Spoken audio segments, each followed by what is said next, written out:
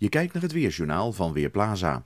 Over het zuiden van het land trekken wat dikkere wolken en daar valt ook nog wat regen uit. En die regen neemt wel in intensiteit af. Op andere plaatsen schijnt de zon van tijd tot tijd. En aan het eind van de ochtend is het dan op veel plaatsen droog. Maar dan beginnen wel de stapelwolken te groeien. Met in het noordoosten en in het oosten uiteindelijk ook kans op een enkele bui. Misschien dat die bui ook nog het midden van het land aandoet. In de rest van het land blijft het grotendeels droog bij 18 tot 20 graden, het warmst in het oosten en noordoosten. De westelijke wind is over het algemeen matig. Vanavond naar noordoosten nog een laatste bui, verder opklaring en een temperatuur van 16 of 17 graden. In de nacht zien we in het westen de bewolking langzaam toenemen. Dat op nadering van de storing die morgen in de loop van de dag langzaam overtrekt.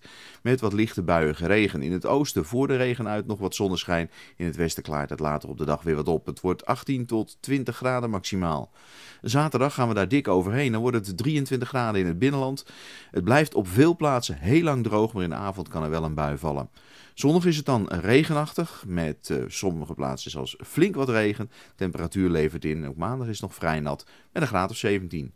Ik ben Marco Verhoef van Weerplaza.nl